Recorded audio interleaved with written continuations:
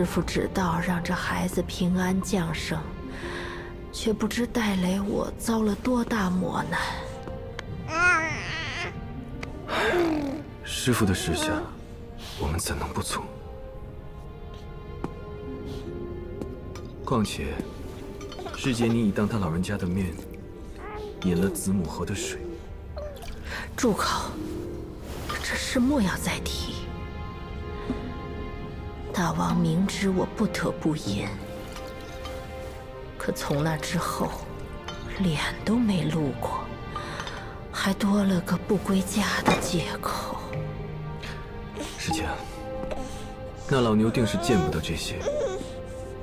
他能给你腾出此洞，又派金睛兽把守，已是给足了师傅情面。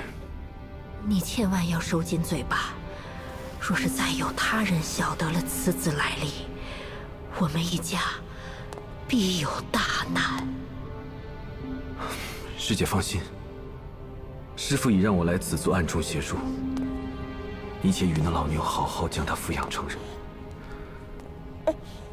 待这娃长大，灵山的那些血债，他便是最好的人证。